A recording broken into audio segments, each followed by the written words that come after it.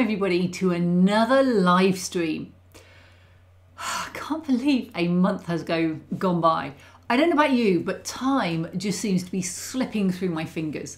I meant to spend about a month off this summer, and somehow I ended up as about a couple of weeks, and I worked through most of it. So, coming back and it's September, and it's straight back into things is is like, well, the summer's over and it's gone. And I did do a lot of good modelling, so can't really complain. So, welcome to everybody. Welcome to all those people who I've already said hi to in chat. And I've just seen Grandpa Rails, Darkside Scenics, Jaw21, stating the obvious. Sorry, I missed you up there. And um, Vanaja Diesel, just Tim Stringer, loads and loads of people coming on. So, welcome to you all. This week we have the exciting topic of DAS Clay. But try as I might, I can't talk about DAS Clay for two hours. I just, it's exciting, but I had to go and Google someone else's YouTube video on how to get it to work. So I don't feel I'm really the expert. Um, because of that, I thought we'd talk about something else. And I put a poll up and I'll talk about imposter syndrome in a minute. But first, wait for whilst everybody's like creeping in, and I see Phil Wright's arrived. He's chilling out after an afternoon driving a seven and a quarter inch Quarry Hunslet. Very nice. Very nice. I'm hoping mine will appear at some point. Um, hi to Faults Bailey Model Railroad, Mark Warren from Scalemont Models, Alan Sherilyn, Alan, I guess, as it's Alan says hi from New Zealand, and everybody else who's coming on now. Whilst everyone comes in, I've been doing a lot of 3D printing. Partly driven by the fact that over the last few months I've had two free printers and I now owe at least four videos out to the manufacturers who sent me the free video, the free printers. And I'm printing so I can do these videos. And it's been fascinating because I had a Prusa already, which to be honest, I hated for the first year I had it. I've gone into detail for my patrons and they'll be getting that video this week. I actually recorded the same thing three times because I just waffle way too much.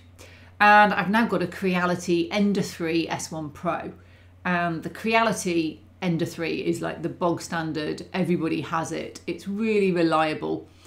It doesn't level as easily as the Prusa, so I've had a few leveling issues but basically it's printing like a champ. I think I've got the temperature right on the filament now. It wasn't quite right. I put some Prusament in for the first time in a long time and it looks really sweet. And that is printing a Second Dynasty Stinger as we speak. And on the other printer, my Prusa, I've got a happy birthday card for my mum. So let's see who else is snuck in. We've got John Yu, woohoo, live this month, that's good. Possum Bayou, hi. Ravenson Express, hi, see you too. Dragon, Dragon Junction Mark II, hi Kathy and everyone. And welcome, welcome to everybody. And I have to start off by saying a big thank to Norm, Digger, and Timber. Haven't seen Timber yet, actually. Sorry if you're on there, Timber. Who are my moderators. Thank you so much for the hard work you do getting rid of all the spam bots, especially the um, ones that want you to go to adult dating lines. I don't want you leaving during the live stream, so don't click on those links. I promise, you'll probably regret it. I just had one earlier. I think it's a scam. It's someone telling me I've got a copyright claim against my last video, but it doesn't actually say what it's for. Um, and normally they say for a song, and I know the song is from YouTube Audio Library, so it's very unlikely it's going to have a copyright claim against it. And I'm just looking at it going, it must be a spam but it's so hard to work out. It's got YouTube written on it, and people copyright claim all the time. It says three strikes and we'll cancel your channel. It's like, well, that would come from YouTube, and that's not how YouTube works. YouTube just demonetizes it and gives the money to the other person who's made the copyright claim. And I've had copyright claims from YouTube erroneously and fixed them. So I'm thinking it's a scam. Who else has snuck on? Ooh, we've got Macero Sidings. Hello from Northeast Ontario. Welcome. Welcome. You're probably getting a little bit nicer weather. We're just sliding into that autumn. It was very foggy this morning, cleared up towards the afternoon. And um, yeah, welcome to everybody. The other things that I'm printing absolutely a shed ton of is on my Elegoo Mars 3, which is my other new printer. So I got a Creality Ender 3 S1 Pro and a Elegoo Mars 3. I already had an Elegoo Mars and it printed like a champ and I loved it. Following my Anycubic Photon that I could rarely get to print anything, it just was leveled from the outset and has any fails that it's had have been always about the model and supports rather than about the printer. It has just been a dream. And I've, you know, I've had so few fails on it. It just prints beautifully. I've got it clear, any Anycubic clear with 20% tenacious in there, and I'm just printing 24-7. At the moment, it's got a Lara Croft hanging off it because I need to do two videos for them. And one of them is a Colossus by Print Minis. It's a sort of wheeled vehicle and um, it's probably going to go on a moonscape or something. I haven't quite decided yet. And the then I thought for the other one I'll do one of the Tomb Raider dioramas I'm planning. I've got these um, Tomb Raider boxes which have the game in actually, and I've got five of them, and I'm going to put various Tomb Raider figures on them um, at some point. I've got five projects currently on the go, printing or on the workbench. It's getting a bit of a headache, but I hate the print delaying a project. So I print generally a month in advance of when I actually need the project. So let's see who else. McCary Siding, welcome. I don't think I've said hello. Oh no, I've said hello to you. Where am I? I'm out. Patrick. Usually the links or email address where it comes from gives it away as they're not the right URL. Yeah, it said warning at cr-67377.site. I thought, hmm, that doesn't look like you YouTube to me. So Siding, cloudy and 30 degrees C. Nice. We were 14 when I went out this morning. Bit lower. Hi Daft Birds, thank you. I'm glad I'm your favourite. It's always good to be someone's favourite. we'll talk about that later on. And then um, stating the obvious says the YouTube scan downside of downloads a virus via the document it links to, and there's a video about it on YouTube. Good to know. I thought that.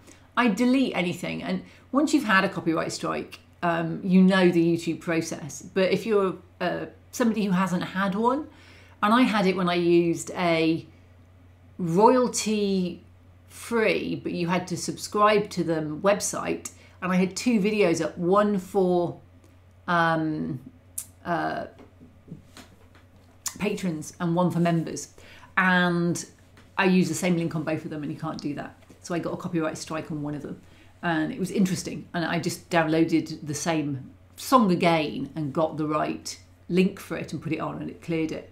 And I wrote to them and asked it, and they were very, very helpful. And I've basically just stuck with YouTube Audio Library ever since because it's easier. But I went through a phase of every single YouTube audio library got a copyright claim on Instagram instead. I'm like, I don't make any money off Instagram, so you're going to take my video down, but you know, it's not like it cost me anything. Um, hi to Marcus from Kigali, Rwanda. Wow, that is that is impressive. We've made it all the way to Rwanda. I suppose the furthest person is actually New Zealand. Um, so I think they're going to win on distance. And I was going to be there just before lockdown, and I am denied about going for the October convention. I was going to be the guest speaker, but um, it was just so expensive. I didn't think I was good value for money for them at the moment, and I, I wanted to put a trip onto New Zealand, but it's just still so expensive, and I haven't earned for two years really. So I kicked it off, and they've got a different guest speaker, and I'm just doing a couple of clinics instead, which won't be the same. But I hope at some point I can make it there. Um, Kevicus first. Hi. Yeah, I've got a headache. I've been having headaches on and off working, and it's either the fumes, though everyone tells me it's probably not the fumes anymore. I, have sorted a lot of it out now, and um, it's probably tension and stress of being a low paid self employed modeler. But hey. Um, so, Norm just asked about that. Um, is my headache related to my printing? Do you know, I've got air purifiers in every room, which is great running them in our energy prices as they are. I can't smell it, but my friends come in and say they can smell chemicals. But I was chatting to someone who was saying the side effects of 3D printing are not normally headaches, they're normally burning sensations and things like that. And he wondered if it was carbon dioxide. The only appliance in my house that has carbon dioxide is the boiler, and that's in the same room. But all the doors are shut to it. I, I'm doing my best, and in my new workshop, I'm going to get a downdraft extractor to the side, and it's like using cooking, the ones that go on islands, and it will suck sideways. Because that's really the fumes that I get at the moment. And coming out the summer, I've had the door open most of the time and I've still been getting the headaches. So I think it's probably, I don't know, I don't know what it is. Someone told me it was just I'm that age of a woman. It's like, that's depressing. Thank you for that. Um, and Darth Buzz says, hello everyone, what a friendly lot. It is a really nice friendly bunch. I, I do love doing these live streams, partly because I work on my own. It's great to talk to people, even if I'm talking at people. But also it's great just, I mean, I've met so many great people through these live streams. And I do apologise, should I meet you in person, I will look really blankly at you. Even Digger and Norm and Timber, hi Timber, you know, I probably will just look blankly at because uh, names and faces are not good. And when they're just names on chat, I really do struggle, even though I talk to Digger most days on Discord. And talking of Discord, I put the link for it right at the top of chat. If you want to join my Discord channel, I did have it as patrons and members only, and they've got a section within it. But to be honest, the only people who really talk on it are actually my moderators like Digger and people that have come over from other discords that I've invited generally. So I thought I'm probably just going to open it open to like everybody because the more people on there, the more other people's modelling goes on and not just mine, which makes it more interesting. But I tend to post daily what I'm doing. So you can see pictures of what's getting 3D printed at the moment mostly. But it, um, the next trick is actually to turn all those 3D prints into dioramas. And yeah, so there we go. That's it's definitely what's going on but it's right at the top of the chat. And if you haven't done the poll on imposter syndrome, we'll talk about that in about half an hour, three quarters of an hour or so. So Polite says he's got a copyright claim too because of free library music. It was good until my video got a bunch of views. Suddenly the music author changed his mind about free use. I think if it's in the audio library and you've linked to it, they can't just do that. So that's interesting that you say that. Um, so yeah, I the, all the ones I had on Instagram were by different musicians and videos and songs to the actual ones on YouTube audio, and they're very close to them, but not the same. They sounded similar, but weren't the same. So I don't know if they were just having a problem, but they took down some of my top videos, which really annoyed me. Not that I have that many top videos, to be honest, on Instagram. Um, Frank Words, nice to see you again. And yeah. Timbersurf says he got a copyright claim on music he composed himself. That is just the trouble. Were, I got one for an FCP drone sound. I'm like, it's a drone sound. It sounds just like the next drone sound. I swapped it to drone sound number two from drone sound number one. But it's funny what people claim on. But the um, Instagram ones were a year, two years after I posted some of the videos. So it was really sus. Um, but that actually did come from Instagram. Petrick, ooh, convention, I guess I'm out the loop, not being rail but general 24 scale. Yeah, it was the New Zealand and Australia model railway convention I was going to go to. But sadly not. Um, I'd like to go at some point in the future, but it's just, it wasn't a great time. I'm hoping to start a new job around that time as well. And it didn't seem good to be out then for three or four weeks. Um, so Dragon Junction, do you ever watch Piccadilly Model Railway? He 3D printed all of his station canopy and engaged. The guys will tell you worth a look. I haven't, but I will check him out afterwards. I'll have to scroll back up and remember it. Um, says side effects of 5G. Could be. They're about to put a giant mast near us, but there's none in the area that close at the moment, and my signal's fairly poor in the house. So maybe not. Pedro says dehydration. Do you know, I drink like a fish. Um, I, I, being an office worker prior to this, I have a glass, I have a cup of tea, mug of tea, but it's Chinese tea, so it's mostly hot water by the end of the day, probably every hour. So I don't think it is dehydration, though that will give me a headache. And um, and Polite once got claimed for intrinsic noise in my camera. That's funny. What what annoys me about this headache is I've given up red wine. I don't want to give up the chocolate, but I've given up um, Pepsi Max cherry flavour, which was giving me headaches and also giving me stomach aches. So that stuff is bad for you. And I gave that up. I'd gone up to a can a day. And, and I keep giving stuff up and I'm still getting the headaches. That's the frustrating thing. Yeah, David Orr says likely carbon monoxide rather than carbon dioxide. It's what you get with a faulty boiler. Experienced it once and it gives one hell of a headache, even feeling sick. Thing is, I've had these headaches for two years and the boiler is like down on the other side of the house. And I go in there to get the 3D prints out. The door is shut. There's no venting in there but literally the door's shut on it 90% of the time. So I do have, I said to the guy who'd mentioned it, I'll get a carbon monoxide one, because I've got two gas fires. And I used to have the little ones by them. But it was serviced, you know, serviced every year and they do that test then and it wasn't putting anything out a year ago and I've had the headaches for two years. So, hmm, not good. Um, so Patrick says, Alan and Sherilyn, have you been to the New Zealand convention? Where can I locate details about them? I think it's NZAMRC and it's in Christchurch, 7th to the 10th of October. And I will be doing two clinics, but they'll be at odd times for you so that they're not too late for me. I think the first thing in the morning. So Timber says the claimant copied my music, changed the end, posted it as his own channel, uplift, upheld my, and then YouTube upheld my claim and took down the video. Oh, that's good. Um, that's quite scary. well, no, because I kicked the Pepsi Max a year ago, uh, nine months ago, because it was making me ill. So I haven't touched, I haven't touched any fizzy drinks. I bought myself a Soda Stream, so fizzy water is my thing. It makes me feel grown up. I said that the other day, and one of my friends said to me, "But Kathy, you are grown up.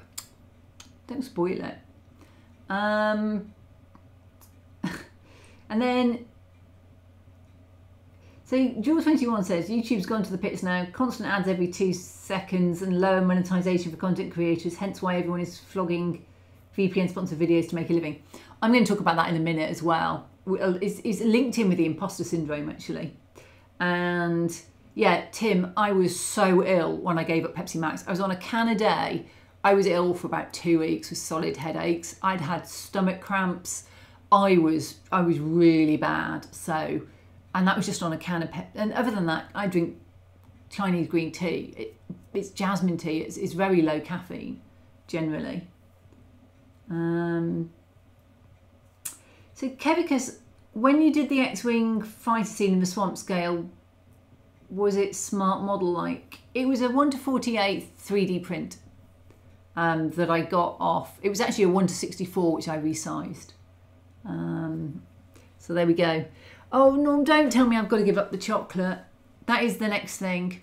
That is the next thing I'm giving up if I don't kick the headaches. I think they're partly tension related and stress related as well. Um, but I've only had them since working at home and I've eaten chocolate my whole life. Um, so there we go. Um, so Darthbur says, looking forward to Dow's Clay and imposter syndrome. I use it a lot and I think I'm very good at it and never will. And don't think I'm very good at it and never will. Okay, yeah. Um, I, have had mixed bag with um, DAS Clay, so this was an interesting one. It actually worked this time. Um, so for all those people like John New saying watch YouTube via the Brave browser and it cuts out YouTube adverts, that means people like me don't get any money. So I have mixed views on that. Um, and Patrick, I'm definitely not growing up anytime soon. I tell you what though, whilst everyone's chatting, I'm going to put on the movie in the background and this is my modelling for the last. Uh, so I did all this earlier in the summer, and I actually had the final video on the 1st of July with the TV company, and it's going on there. So I'm doing this, having done this a while ago. And this week it is all DAS Clay and Sculpt Mold. Literally, it's an hour and a half sped up. It was seven or eight hours recorded, but longer than that modelling because I don't record everything. And the last time I used DAS Clay, it was a disaster.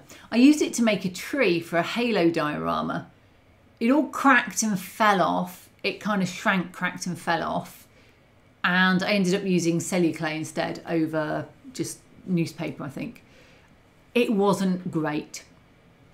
So this time I did what any self-respecting YouTuber does when they don't know how to use something. I went on YouTube and I looked at Mel the Train Tutor and looked at his videos because he does some great videos and I'd watched it previously but a long time ago. And he gave two or three top tips. So I'm going to pass the two or three top tips I got from him on and suggest you all go and watch his video. Great glass placement there. I cut the rest of that video because that's just there for the next hour. Um, but I suggest you go and watch that video if you want to know more. But his two or three top tips were one, always put water onto whatever it is that you're going to stick down to. If he, and he, he does all the demonstrations. If you put clay on and you put it onto a dry surface, it will come off. If you wet the surface first and put DAS clay on, it sort of sucks it in microscopically. And that was really good. The other thing he talks about, and there's a cloth to the left in this video I used a lot, damp cloths over everything so it dries out slowly and then you don't get cracking. And that made such a difference to me. But first, I made some cobbles. And these are to go along the track. So I actually, I tried putting them in the place, but I wasn't very happy. So I actually let them dry on the side.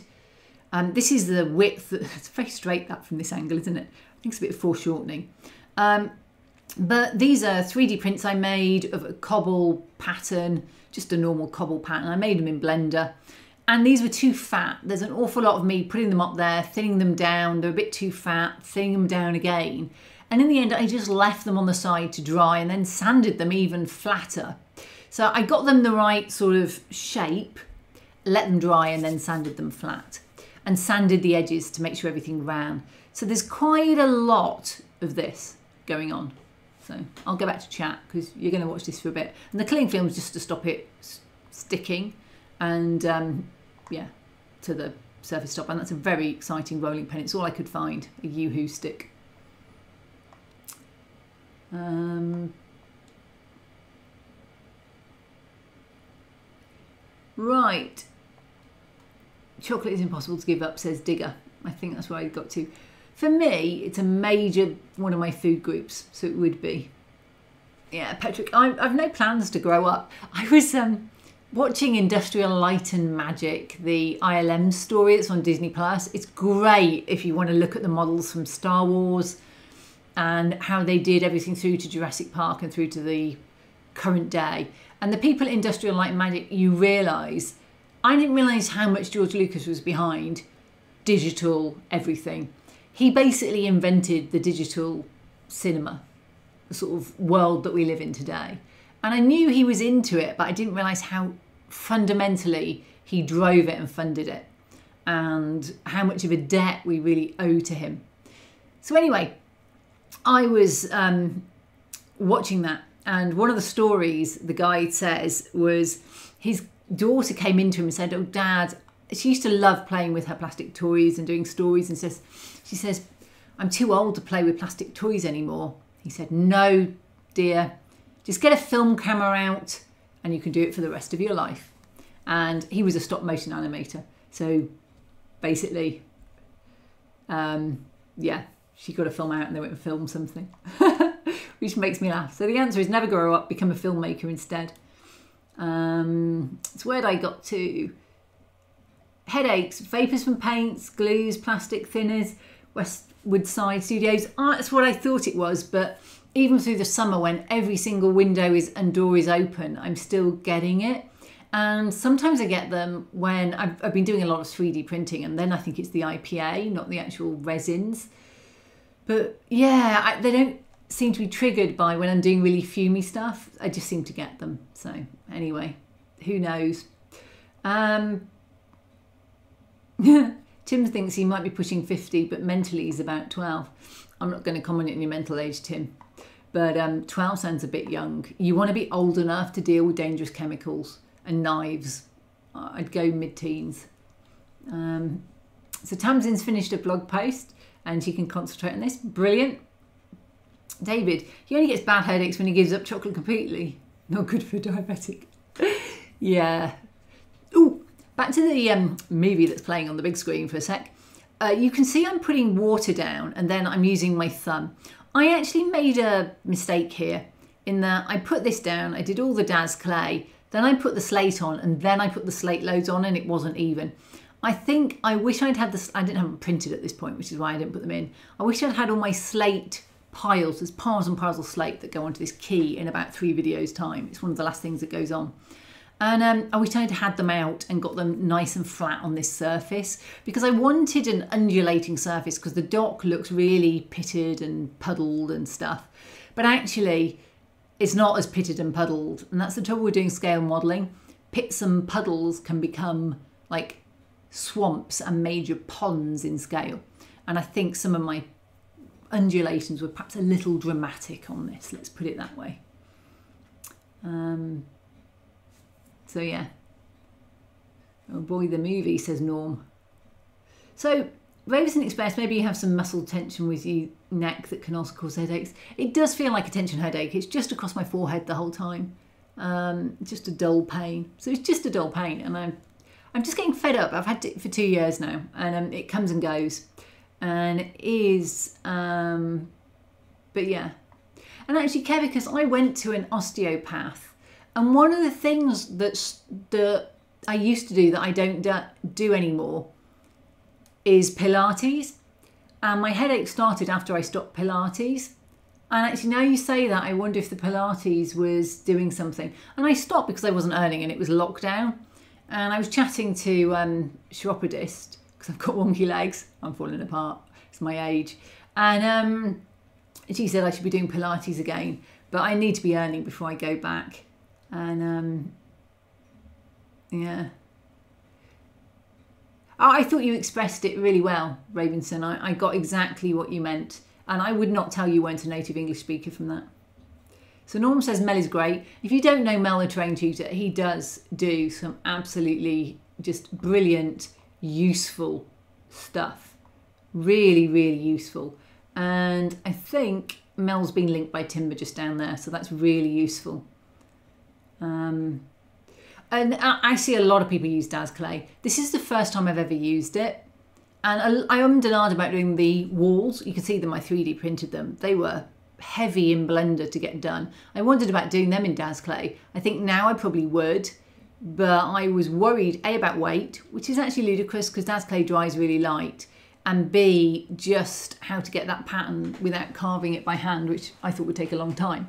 Blender took a long time, but it was evening time, not daytime time, which I'd take. Daytime is modelling time and evening is computer time.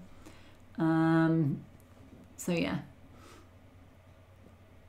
John Gray, Kathy, it could be a hydrogen sulfide leak, sewer gas. At first it stinks, but after a short time you stop smelling it. My friends had a faulty Durgo valve on a drain which allowed the gases in. I have no idea what a Durgo valve is, but um, I think all of my drains should have U-bends on them. So, hmm. Oh, I've got Mel's book. It's really good. I, I got the physical book. I went through a stage, um, being a creator and not earning a lot, the one thing I do do now is support people when they do books. I've bought a lot of books of things that I've hardly read just because I wanted to give people the cash for you know the work that they've done. It's like I bought a load of OMC t-shirts so that the artist who did them and donated them for free got the money from them because I can't really afford very much, but books and t-shirts feel like necessities, and I put the book through the company probably. Um, Phil says when he tried cobbles, I poured plaster of Paris over the whole area, sanded it down to the railhead, then hand carved.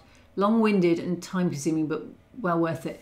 I I once did plaster of Paris, and I found it softer and easier to carve than probably DAS but I found it really clogged my um, the bits round where the track train wanted to run and my steam trains caught on it because it was a little bit proud just beyond the track and they had pipes hanging down. It wasn't great. Um, it wasn't great.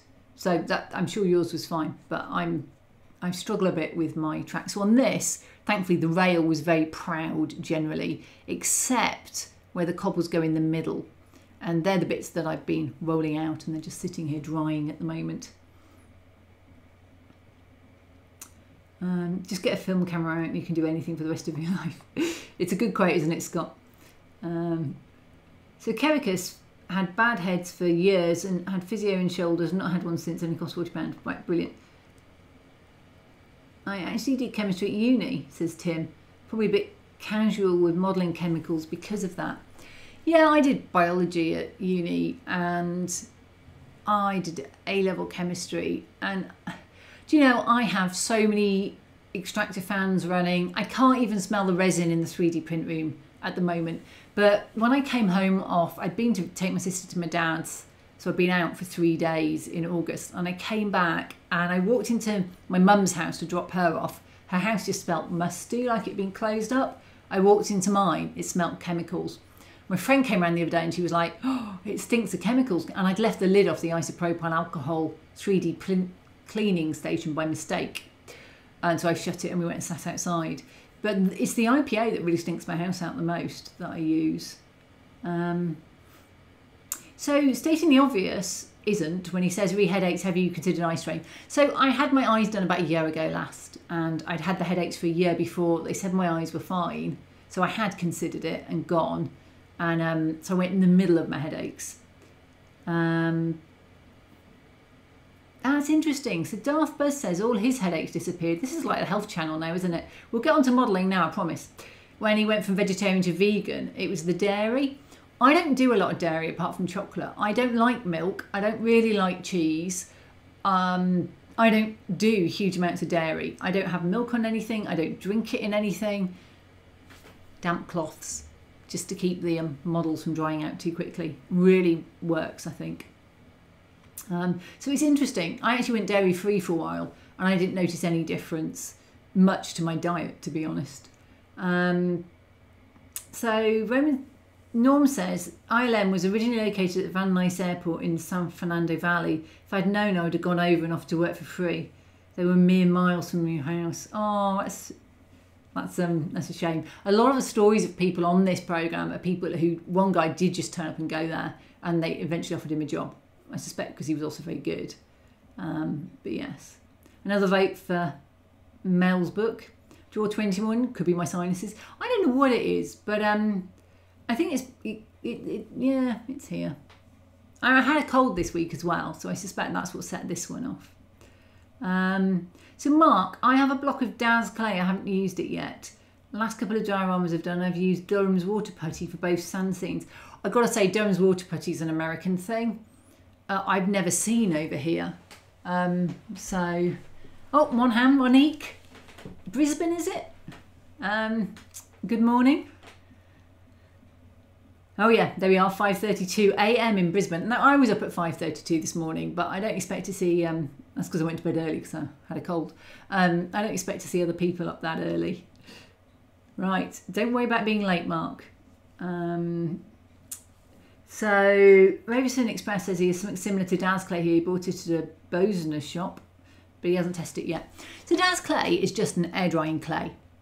And there's one advantage to it it's air drying it's relatively cheap in the uk i got the white just because that's what i happened to get and because it's air drying you don't need to bake it in an oven now do you remember i said i put these separate so i then glued them and put them in place separately and that was so i could get them thin and sand the sides so you'll see me every now and then on this running the trains. When you're doing things like this, you so need to run the trains a lot. And then to go along the edges, I used a bit more of the cobble and I eroded away with a knife the edges of the cobble because they're kind of pulled away as they might over time when they've been trodden and then it's been tarmacked next to them. So it's kind of tarmacked onto them, but they're eroding and there's a few little puddles and things there. Um, oh yes, I have my own book. Norma has reminded me I have a book. It's on Amazon. Yay. Building realistic model railroad scenery. But it's not just railroads. You could use this for dioramas and anything really. There's one chapter on track and that's about it. There's railroad. Uh, the planning is very railroad as well. But everything else, all the techniques are just pure scenery. And actually a lot of the, the them that are in the book where I've taken the photos are on small dioramas rather than on big railroads just because it's easier to do the photos that way. Right, so DAS Clay going in the background and what you'll see me doing for the next hour is realistically putting in bits of DAS Clay and then putting in other bits of DAS Clay and I'm either using glue or water to stick them down. There'll be damp cloths over a lot of things to keep them from drying out too quickly. And I've got to fill the whole of this. It took me ages, which is why it's a whole week's video. But I didn't think it was really going to fill me talking about it for two hours. Um, so I decided we talk about imposter syndrome. And I've been thinking about imposter syndrome a lot recently. And what brought it up is I'm getting a new job. Um, I'm very excited and absolutely daunted by the new job. And I keep hoping that I'll be able to announce it soon. And for those of you who don't know, it will be being in charge of the modelling side of a new tourist attraction that's basically a miniature railway in London. So it's very much railways and other modelling it's a dream job for someone who's a modeler, and I'm really looking forward to it. But I went down the other day and they had somebody who's an expert in doing these types of attractions, not miniature worlds, but just attractions. And he said to me, Will I have heard of you? And I just kind of went, Well, um, probably not unless you follow me on social media. And I said this to the, the new boss. And he's like, Kathy, you're on TV, you know. It's like, Oh, yeah. And a few days later, I was chatting to someone is a huge inspiration to me. He's one of my favourite creators, not into railways, so you may not know him, and I'm not going to say who it was. But um, we were chatting, and he'd he's got a job. He's actually working for an art director who's one of my all-time favourite art directors, and he's doing amazing modelling job, really really good. And but throughout his career, he's done a huge variety, and I've always found him one of the most inspiring people. I love what he does. I love his innovation, his trying new materials, but also his quality. And he's always been an inspiration. I've looked up to him, and I would name as one of my top two or three people who inspire me the most. And he said to me, Yeah, you know, I got this job, and I feel like a real imposter. You know, I don't feel I'm good enough to do it. And I'm looking at him thinking, You are the guy that inspires me. You are the guy who I look up to more than almost anybody else. And he, he, got in touch with me on Instagram to tell me he got this new job. So we have a you know a chatty relationship every now and then. And I was just like, oh, you know, we all get it. And the more I've become in the creative world, the more insecure I feel about my modelling, funnily enough. And I think it comes down, we've been talking about YouTube earlier it comes down to the fact everything you put out there is judged on a popularity scale, not a quality scale. And I actually don't think my quality is that great when I'm doing YouTube because I have to go for quantity. And there are some things where I just don't feel I did a great job. I feel I rushed it. It didn't look like the concept in my head looked. I maybe locked things down too early because I was rushing through or one or two of them, I just didn't get around to doing all the things I wanted to do because I, I, was fed up and bored and wanted to get the video out. And Jurassic Park would be an example of this. Um, and a few people commented, um, it's not got enough water splashes. And I thought, oh, I didn't mean to do those. I just got so caught up in the projected backdrops that I forgot. And there's this point in a YouTube video's life where you stop putting it on Instagram as WIP and it's more or less ready to go. So you miss the kind of here's the final photos. You leave those until the video's out, by which point it's too late. So you don't get any feedback on the final thing until it's out there. And the other thing was I wanted to maybe reuse the T-Rex, so I didn't want him to look too wet. Though with hindsight, I'm never going to do that. And I haven't glued the top on because I knew I wasn't quite happy. But it just made me think, you know, imposter syndrome. And if I look at the poll nearly half of people say no idea. So, imposter syndrome, if I was to define it, is where you don't feel your work is good enough. And what I find is the people that tend to have imposter syndrome tend to be the people who do it professionally or do it a lot, who are people who are out there a lot. So I see some really top modelers in other areas often cosplay or sci-fi or stuff like that and they just say i totally feel like my work's not good enough. And they're always really top of the game people that are saying it. And that doesn't mean that um, people who aren't top of the game can't say it. it just it's endemic but these are people i use an example because they're really really good people and they're going yeah i just i don't feel that my work's good enough. And i look at it and i look at my work and i never really like it and it's interesting because I look at things and I just go, I see all the flaws and how I should have done it better. And that might be what drives you to do a better job next time, but it also can drive some bad behaviour. So, anyway, I've spoken quite a bit. I'm going to go. If you want to vote on imposter syndrome, so imposter syndrome, I don't know what the classic definition is, but the d- definition is where you don't feel you're good enough and you're going to get found out. So, and it, it works for um, professional modelers because they're doing it for a job. So, this is their job. And at some point, someone's going to find out they're not really as good as they think they are, or they say they are because they're doing it as a profession. And someone's going to point it out.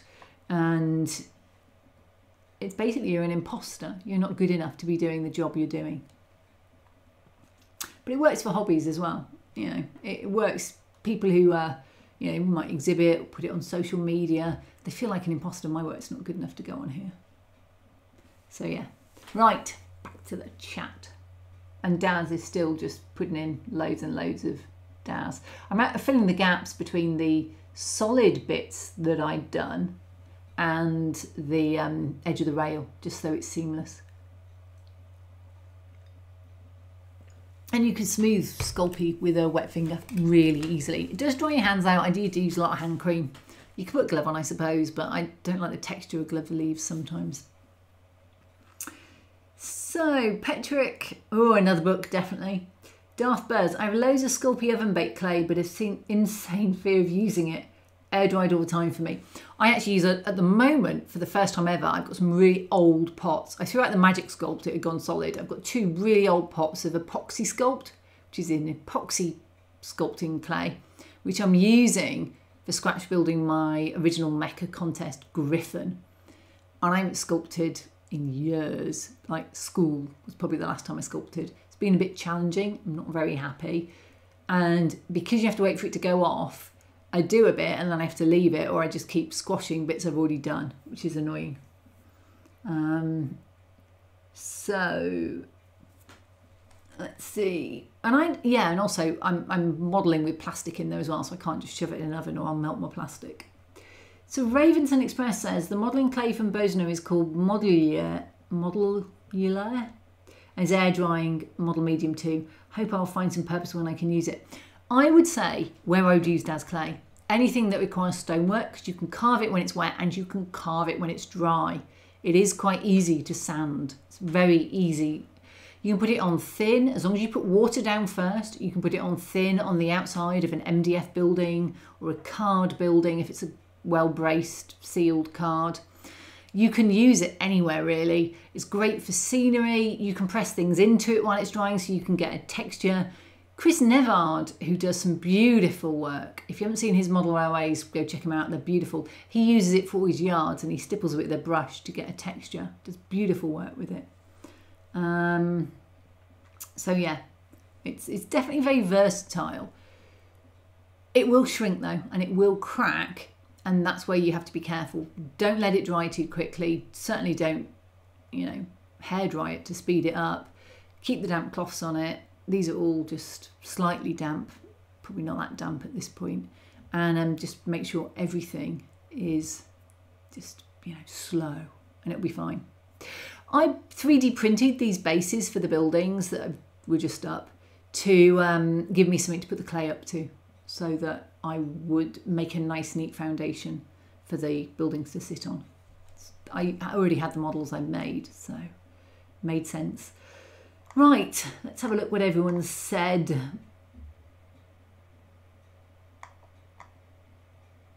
Okay. Wow. Right, so where are we? I'm miles back. Um, so thanks for the link, Digger. Um, Kathy's very modest. Yeah. So, been thinking of a World War II bunker, says Kevicus, of 135th scale. Should I use plaster of Paris or DAS? I cannot afford 3D printing. I'm not sure for a bunker. Um, I'm not quite sure I'd use either of those to be honest, so I may not be the best person to answer that.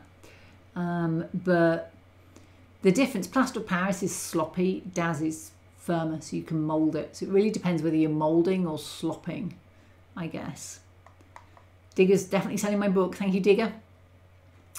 Mark Wilson. Recently at work, we had a speaker talking about imposter syndrome. Until then, I thought it was just me that was had my doubts. Now I understand. I actually think it's almost anybody on social media at some point will feel this way. Um, it's just the way social media drives people now, I think. So Tim's giving Kevicus first some. Could you make a mould of slab sections for the bunker walls and then cast them with plaster? That might work, yeah, because plaster is very sloppy. Um, Legends Spatial. Train Time Machine. I'd like to do a sci-fi train at some point. Um, so Monique says she knows what I mean.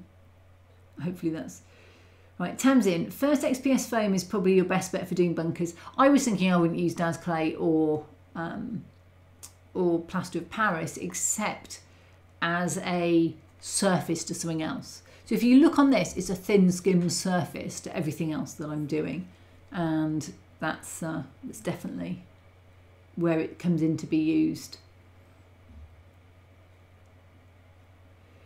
I don't think we actually know what you're doing with your bunker, Kevicus, and that might be the problem. What it is you want to, um, what it is you want to do with it. So might need some further discussion, which might be further down. But he says he was thinking about carving them with foam board for mould. Not sure what to do, to be honest. I'm not quite sure what you're trying to do with it, I think is my problem. Bye, Vinager. You've probably gone already, but bye. Um, thanks for dropping in. Right, Monique. Definitely now I know what you were talking about. Yes, right. Norm, I have issues in my work due to being a perfectionist and my own worst critic, and I think that is part of the problem. When I was paid to do a job that I wasn't that bothered at, being an accountant, I was able to leave it at the door at five. I never really worried about it, except maybe the people side when I wasn't at work. And they paid me, and I did my job, and I did it well, but that was it. And I did a good job. When you're doing creation for your job, your whole self becomes bound up into that. And it's really brought out my perfectionist tendencies and my task driven, which is why I don't take enough breaks because I haven't finished my tasks and I've put too much on my shoulders of what I want to do. And being a perfectionist, I, you know, I people don't write nasty things generally on YouTube. I get comments on how I could have done it better, but they're not nasty. But I don't think anyone could write anything worse than I already think about my stuff or have already thought about it. What people do is make me think of things I haven't thought of. And, I appreciate that actually. Someone um, today, I think it was this morning, said, on oh, my Mandalorian diorama, your cotton hangings aren't moving enough in the wind. And I thought, what do you mean? And then I thought, oh yeah, the cloak's got a massive wind on it, you know, maybe the cotton should too. So yeah, and I'd never even thought about it. And that video's been out for years. It's the first person to say it. Um, and then you go, oh yeah, that's a good point. So Scott says, no idea was my vote, but I'm not working anymore due to declining health.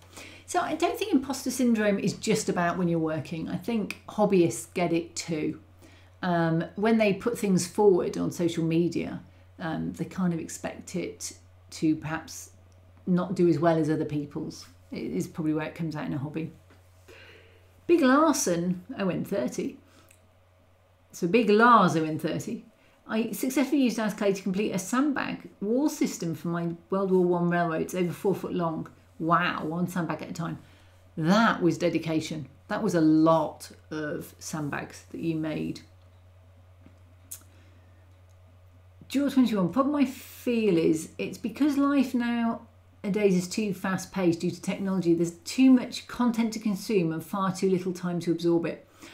I feel that um, I'm actually looking forward to YouTube not being my main job so that I can actually go back to doing a different schedule for the videos.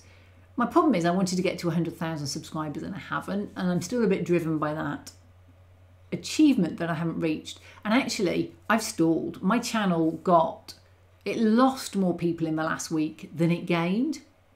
Um, so actually, I'm losing more subscribers than I'm gaining at the moment, which is really sad when you want to grow.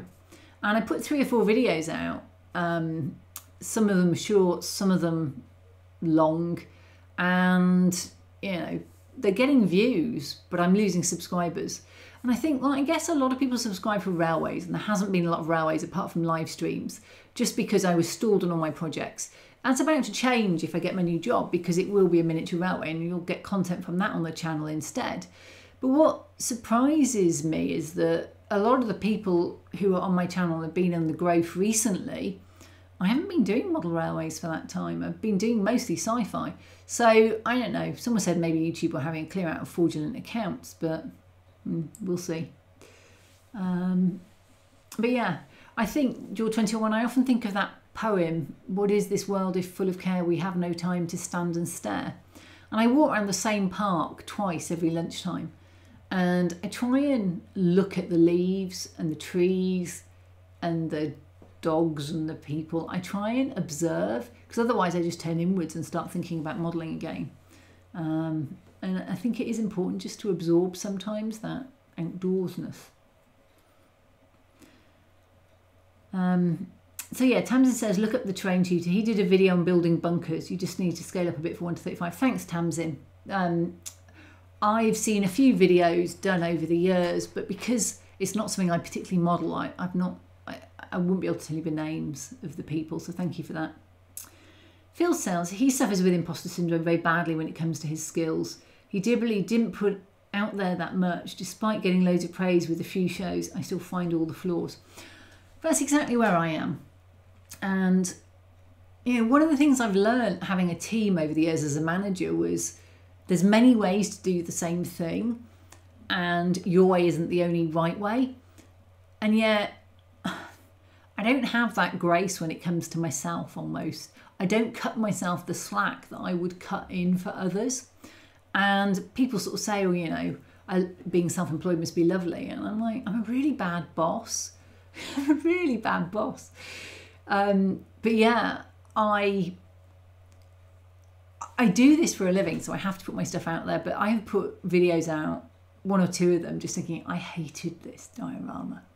I absolutely hated it. I might have had an error, something went wrong, and it's very common. I was watching Boylei Hobby Times. He's one of my favourite. He's got to half a million. So well done. He really deserves it. But a huge amount of work and He'd done another resin one that had gone wrong. Um, everybody's resin pours goes wrong. Yeah, it's just one of those things about deep pool resin. It's really fussy. Even people like Thalasso Hobby, who um, they do it almost for a living, and they are absolutely the king of deep pours. Even they occasionally have one that goes wrong, and he'd got one that had set overnight and it cracked, it heated up, and he managed to more or less fix it. But um, you know, even people like that, I see the flaws in their video, and I don't know whether that keeps him up at night that he had a flaw, or if the fact he mostly fixed it and got the video out there is a win. It, it comes down to your own personal makeup. But I did an underwater scene and I got a bubble in it. I tried to fix it and it was rubber water and it pulled slightly away from the container it was in, so there's slight silvering there. And it's got this really weird bubble with stab marks through it effect in the corner which some people say looks great and they're fine with it. it. It's kind of all I see when I see that piece now. It's the floor. Um, someone commented, oh, you should put more veg in. And I was like, oh, I was going for an Egyptian look, but, you know, I get where you're coming from. And, you know, I look at it and I can see all the comments people make are really good and constructive. But they're then the lens at which I look at things. And the more you put that out there, the more you get people looking and making comments. And they're not bad and they're great. And I've always said behind every criticism is a kernel of truth, no matter how rude the criticism is. And sometimes on the internet there is no kernel of truth. But actually, in 90% of the comments I get that are pointing something out, apart from the second blooming lightsaber on Ahsoka Tano, you prove to me she didn't drop the second one off camera. You prove me that. But apart from the second lightsaber on Ahsoka Tano Clone Wars scene, which if you haven't seen that video, like I have a thousand comments telling me that she didn't drop two lightsabers. Apart from that, I don't bother responding anymore. Um, in the book, apparently she did drop both, that's just what I stick to. Um, but apart from that, you know, most criticisms are actually very valid. Things I've missed, and if I was the kind of person who went back and reworked, I would go back and do it. Oh, top tip here: I'm putting in Sculptamold and paint, and it's going against my backdrop that's painted. Cling film stops me painting my sky by mistake. So I've got cling film around everything because all of these are coming in or out at this point deliberately. But you can make it so the cling film's just pullable up behind and it stops anything getting onto the sky you don't want to be on there because your sky should stay white. You really don't want it to sort of get stained with brown paint or anything like that because sometimes it will show. Right, let's see what everyone else says. Okay. So, Scott, see, there's a thing. The perfection I can imagine has always been beyond my ability to humanly achieve. That's why I like 3D printing, because you can actually get the perfection that I can't achieve with my hands. I can design it to be exactly square. I can't carve anything square to save my life. But I see people agreeing with Phil, Darth Buzz, and yeah, others. So Tim says he wonders if it's more of a personality trait than anything else. I have it in both my real job and my hobbies. I wonder if a hobby that requires attention to detail, um, such as scale modelling can, and not everybody does it. And one of the reasons I like scenery is it doesn't have a lot of attention to details. You can just slop things on, like I'm slopping on this Sculptamold now. And um, I think one of the things about it is it may attract people who have that personality trait of attention to detail because scale modelling is about detail. And, and maybe therefore you see it in the hobby. Darkside Scenics, I think that being creative is a blessing and a curse. Most creators are very hard on themselves. On YouTube, you might get 99 positive comments, but you find you focus on just the one negative. I am so 100% behind that comment. I could probably tell you most of the negative comments. I could not tell you the positive ones. And I'm trying to comment more on Instagram because I realise the danger is nobody makes the good comments. They just go, that's good. And all you then get is a weight of negative comments. And um, yeah, it's really, really difficult because that's human nature to try and understand the criticism and absorb it. Andy T, please give me a shout out here in Weston-super-Mare. Hi, Andy in Weston. Wow, great part of the world. I remember going to the sea once at Weston and I was like, I was quite young. I was like, Mum, where's the sea? And she goes, Oh, it's out there, dear. And it was like out in the distance. Weston has one of those massive, massive long beaches, doesn't it? That um, it comes up a long way. But yeah, great place. Um, right. Oh, I I'm massively down, and every time I scroll, it takes me to the bottom. Right.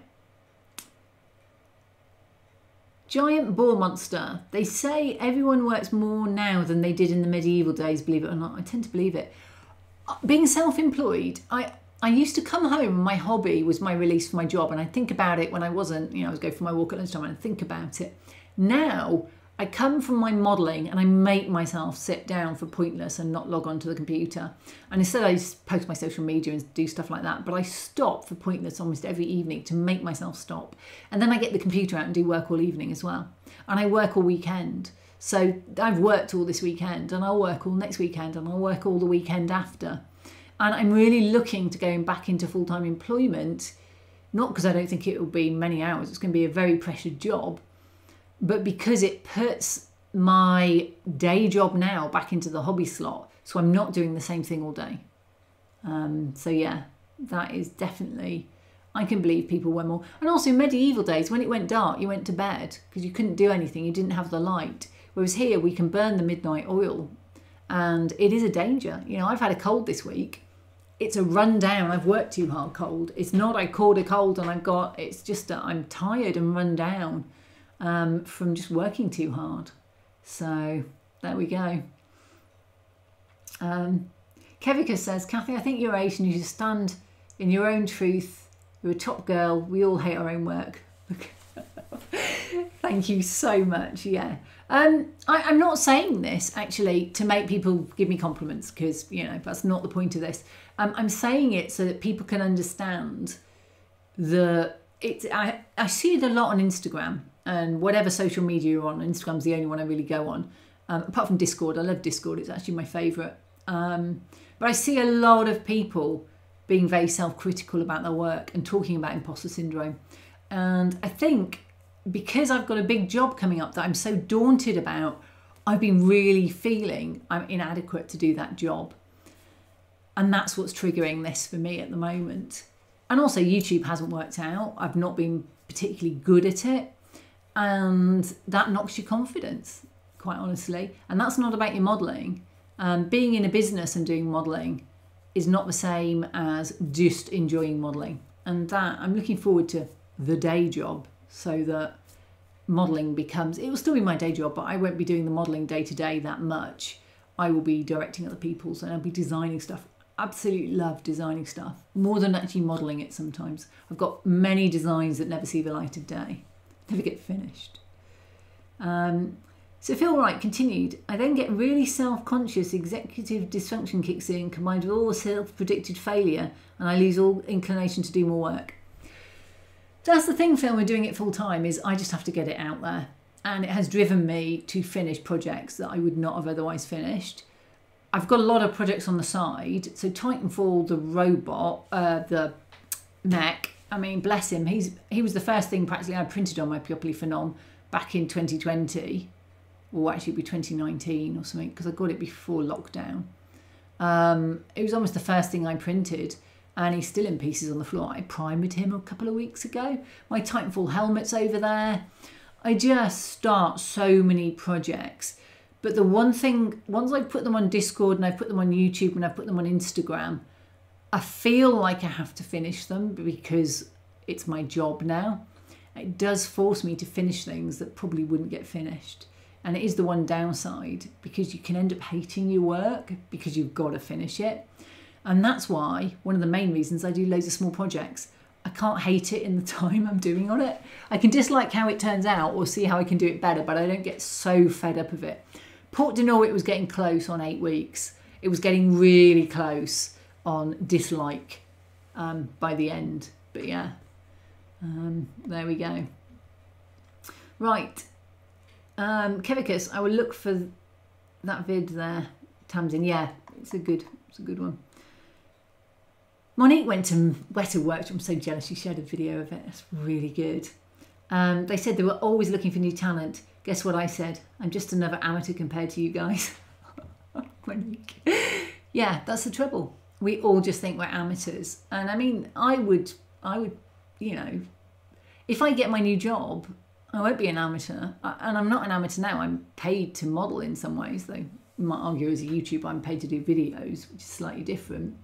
Um, but yeah, we look at people at Weta, and I follow some of the guys at Weta who also do cosplay and other things, and they're such nice guys, but they're so talented, and I don't feel talented like that. I would say I'm not an artist; I'm a crafts person, so I can't really draw. What I'm good at is crafting things and it is a distinction, and I'm definitely not fishing for compliments here. I can't draw.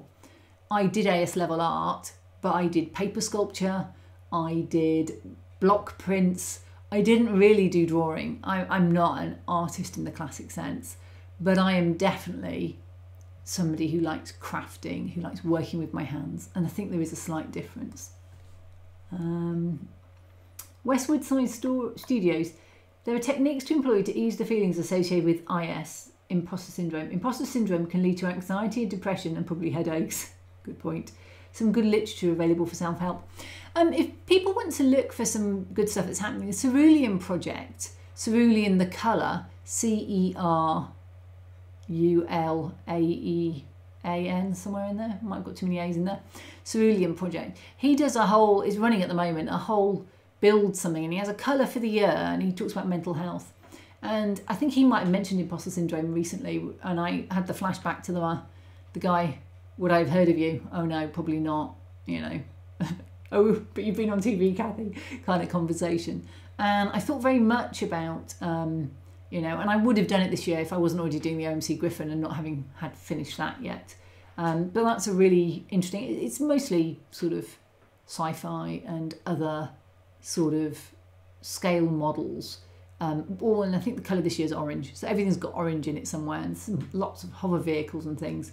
I don't really, I just follow a bit on Instagram. I don't go into it a lot, and he's posting every week discussions on mental health in the hobby, and he's he's trying to raise awareness, and he sells a book that raises awareness. Within that book, which I haven't bought, and I keep meaning to, there are pages about mental health awareness within it, and I think that's a really good thing.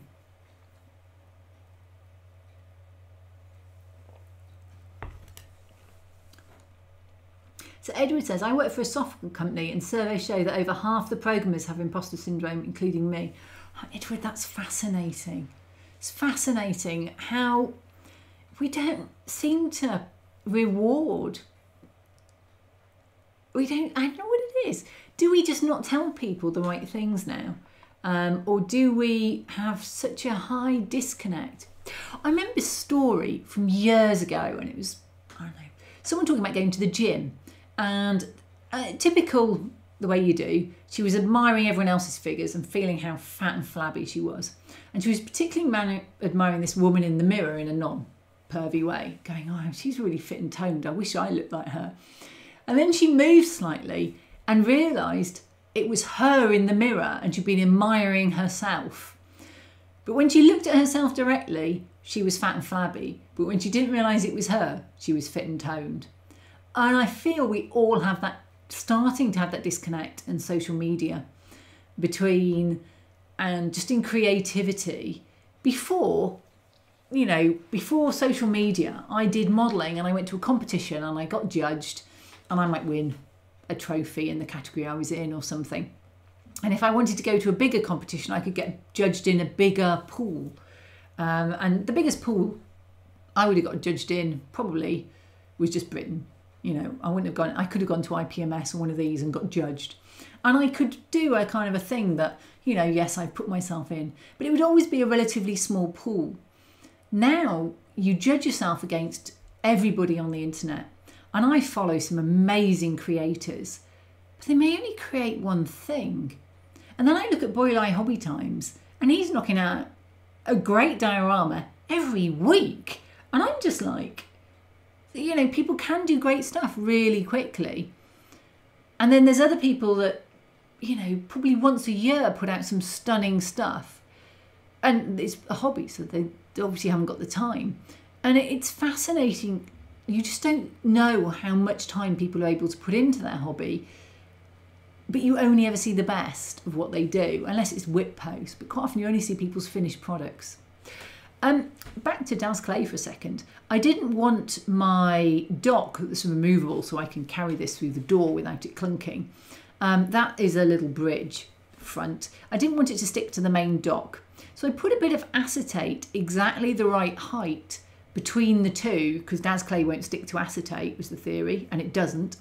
And I then I, I smooth the clay down to that level and just ran used a knife around the edges of it. And I knew then that there was a division because I could feel the top of the plastic just slightly out the clay. But I wanted it dead smooth so it would be flat and level both sides and I could just tell that it wasn't connected because of the acetate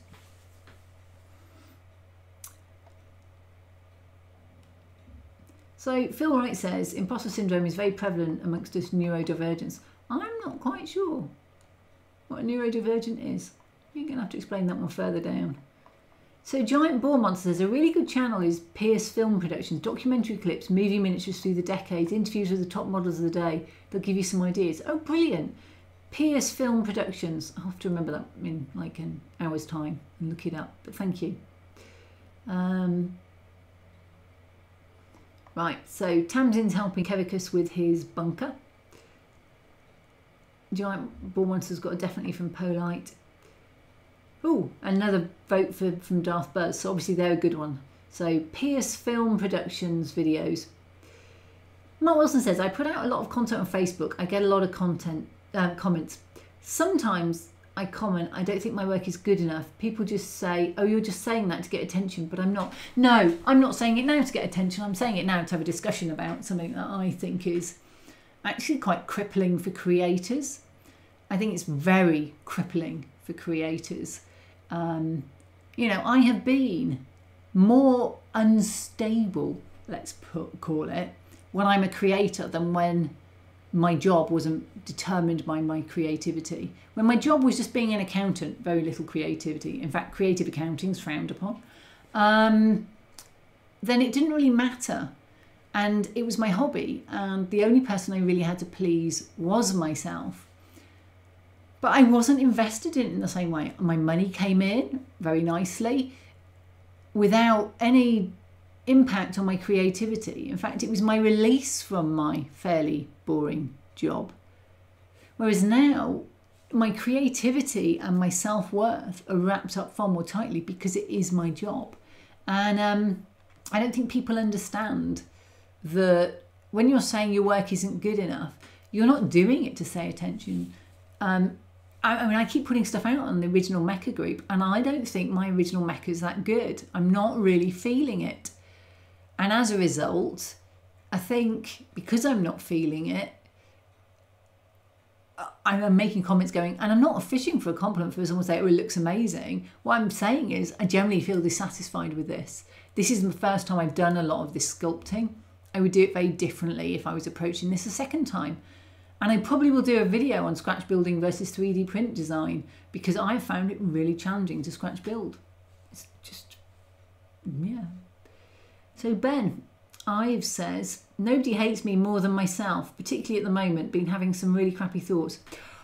It's a spiral, isn't it? I can really spiral down very quickly about um, thoughts. And I, I remember chatting to someone who had had severe depression and been to a workshop that was about changing the way you think. And he said the difference between someone who's depressed and someone who isn't, in this workshop's very simplistic terms at the time, was a normal person spills the soup on the floor and just goes, Oh, I spilled the soup. A person who's in a vicious cycle down spills the soup on the floor and goes, I spilled the soup. I'm a horrible person.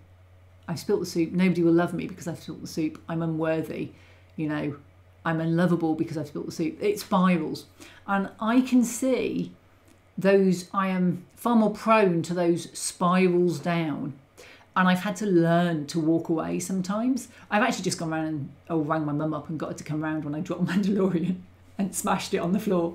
First thing I did was ring my mum, Mum, I can't cope.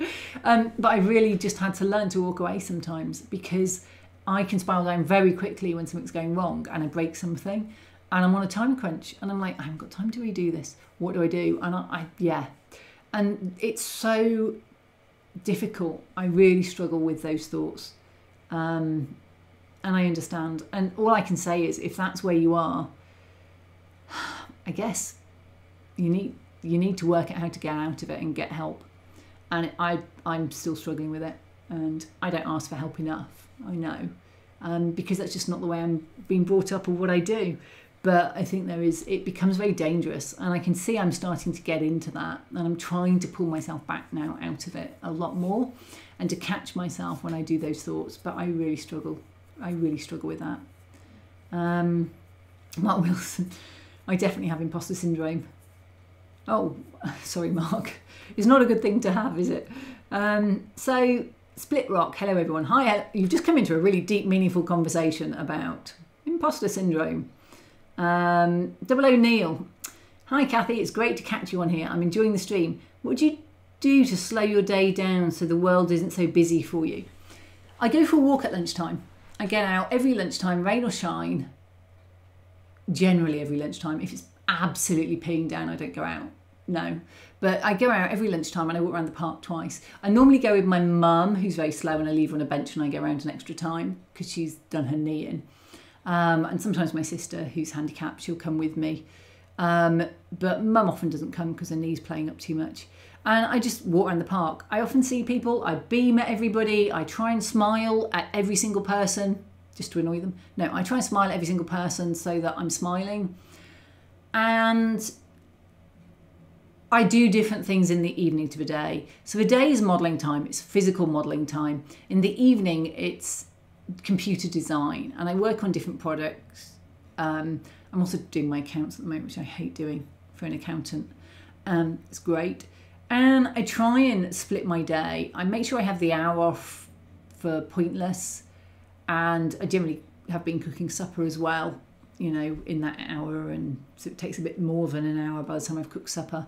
Although mum made it tonight, which is nice. And, um, you know, I just try and get away from it um, and that's but it's i'm still very much in my own bubble. And that's why i want to go into a full-time job. I miss the team. I miss the being around people. I am an office bunny. I've worked in an office since i was 21 i'm 50 next year. That's a huge amount of training of how to work in an office. And i miss it inherently. I miss that buzz of talking to people. I'm an extrovert. So for me I'm going to change my job, is the short answer, because I don't think this has been the healthiest time for me. Um, so, Tamsin, my imposter syndrome is about my figure and model painting. Friends at my gaming club tell me I'm really good, but I'm nowhere near the standard of people I watch on YouTube. Again, that's so difficult, isn't it?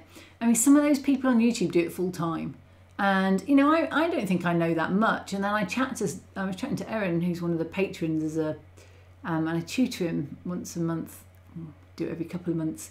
And I find when he has a question, I've normally got an answer because I've done it well or badly at some point, but I always have an opinion on it.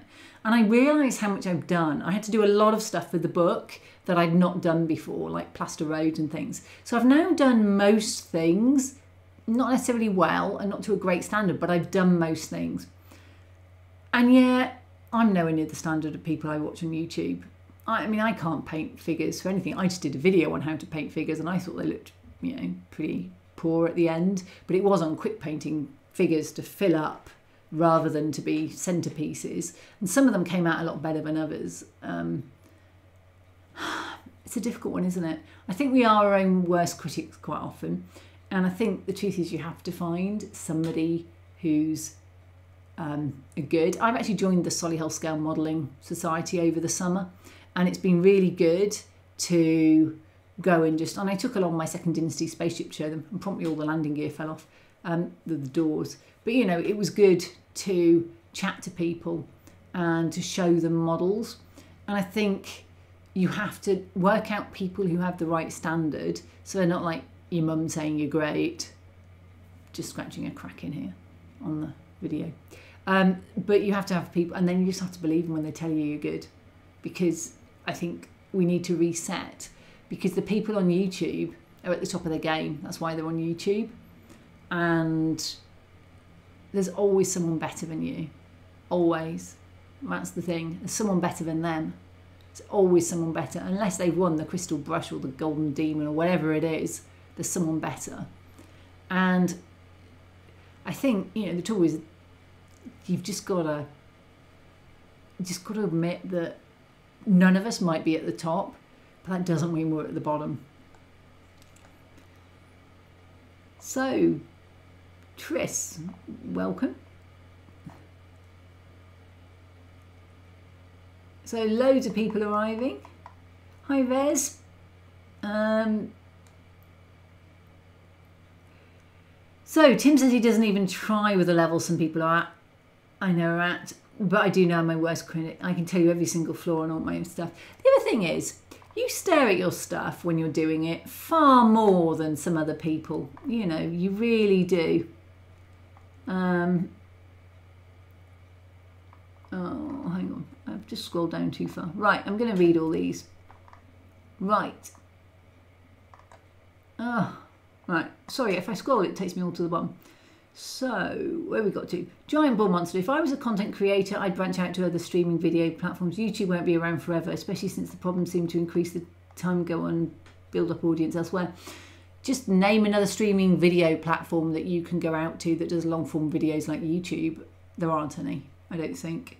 That's the trouble. I'm just doing Vero to get away from Instagram. I've got like three photos on there. I'm going through my flashback Fridays, which I do about once every two months. Um, and I'm going to go and start putting them on there to come through to the same. But the trouble with Instagram, there's no real alternative. I hate Instagram's new algorithm but there's nothing really else. The trouble with um, YouTube, there is nothing else that has that reach. There's just nothing else. And that is the problem. Um, on Studio, everyone please check your YouTube. It has unsubscribed me off some channels. Don't understand why. I even uploaded my own video. Wow. Um, I've still got about, I've got about 300 people I'm sub to. So I don't think I've lost any. Um, Tim says Thalasso hobby is amazing. I'm in awe of his casual 18 kilograms of resin they'll pour. I know. If you haven't seen Thalasso hobby, go look at him. He does amazing deep pour resin stuff. Um, okay, so these are all responding to stuff I said ages ago. Norm, but the bubble worked out fine. It's an air bubble in the water, probably a fish fart. It was a fountain. It was a statue fart. That's where it was coming from. Um, Monique, when I painted the backdrop on my N-gauge layout, there's one area that I feel is not good enough. I hate the backdrop on this, but thankfully by the time I put loads of stuff on, no one notices. And that's what I'd say about backdrops. Nobody looks at the backdrop. That's the point of a backdrop. It shouldn't be intrusive. So you look at it um, and, and you say you can't help but look at that area. Nobody else probably even notices it. And that is what gets me. Um, I, like you, look at the one area because it catches my eye, because it bugs me. Um, Vez says resin can be a bugger sometimes. I had to do seven layers on a sixth horse mould in case it caught fire. The heat can get intense. I use Epoxyplast deep pour for my deep pours now and it takes 72 hours to cure. If it takes over two days to cure, it's basically quite a cool um, reaction and doesn't put the heat out.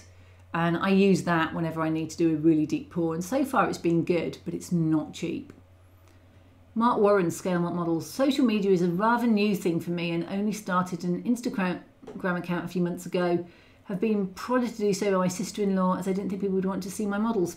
That again is imposter syndrome, isn't it? Nobody wants to see mine. I look at a huge amount of models and I can find something that inspires me in all of them.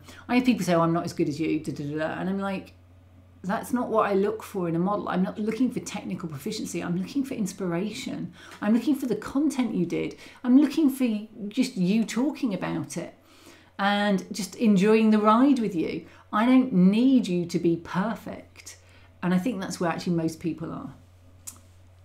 Frank Words, I write poetry, had imposter syndrome until I started writing in real time to a YouTube music reactor. Just relying on my gut feeling, my likes have skyrocketed. That's interesting. Yeah, it's um, it's interesting, isn't it? Um, I, I'm looking forward to coming out of YouTube as a full time and just doing what I fancy, my passion projects, and those going on YouTube. And if they're not popular, they're not popular. Um, but yeah, you know, sometimes it's that gut feeling and doing what you love is what people react to. Darth Buzz, please remember to leave a thumbs up. Yep, please like it and thumbs up, folks. Um, Giant Ball Monster. Speaking of cling film, I think one could use it for water. Might be tricky gluing it down permanently, never tried. I often use it as the base under the water because if it gets stuck in there, um, it's fine. Uh, my Sculptamold that I'm pulling off here is because the buildings didn't fit and it's still slightly damp so it just comes off really easily. That's why it looks like that because I'm doing all this within a day or two and the Sculptamold was taking three or four days to dry out just because it was was not a hot time of year. Obviously it was it missed the main hot summer. And actually, even in the really hot 38 degree weather, my kitchen where this is was probably only about 24. Um, Big Lars ON30, putting a project online definitely pushes you to finish at some point. It does. People sometimes ask what happened to that. I feel a bit bad about my Titanfall helmet. Kaikul on Thingiverse produced it and I still haven't done it. I do need to finish that and my Titanfall. I've, I've got 20 projects that are on the list of I must finish. Um, but there we go.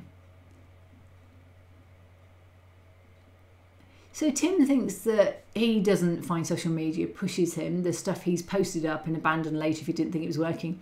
I think the trouble is I generally want to get it out as a video so I do finish. But I often I used to abandon a lot more projects than I do now. So Mark says, where's my artistic side come from? Mark, his is from his granddad building model kits. Um, mm, I would say both of my parents were probably stifled from doing art as children. It just wasn't the thing. Um, but my dad got me into railways, and my mum, I think, probably would have liked art had it been allowed at her school. just, I don't know, but I've just always loved art.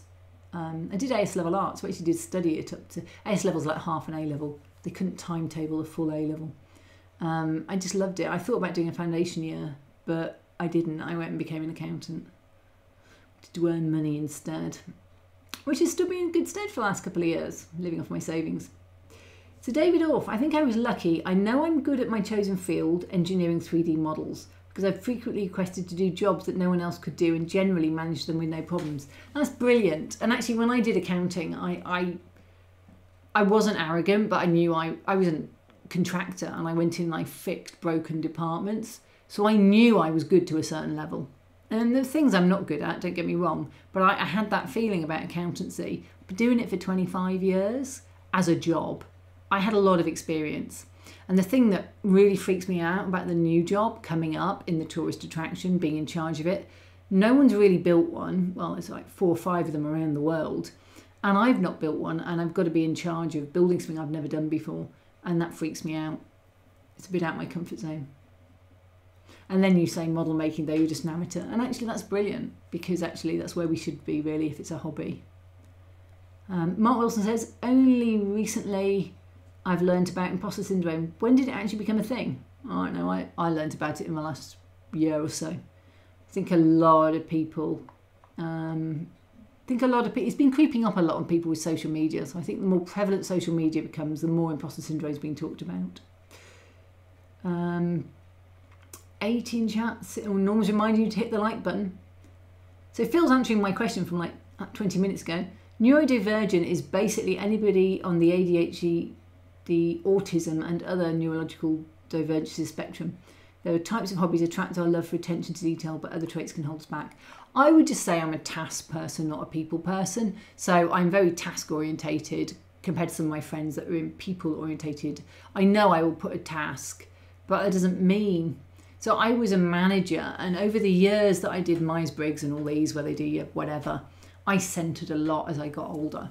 And I think that's one of the things if you're going to work in an office and be with people all the time, you center up because that's just what you have to do to survive as a good manager. Um, but yeah, it's it, not everybody wants to do that, and I think to be honest, we we force people to do too much management. We should let the people who enjoy doing it do it. Um, so Monique says, I agree because we constantly judge ourselves. We hinder our creative ability. Exactly. And that's why I mentioned it. Because there are times where I think I shouldn't take this new job because I'm not good enough. I actually think to myself, I'm not good enough to do this.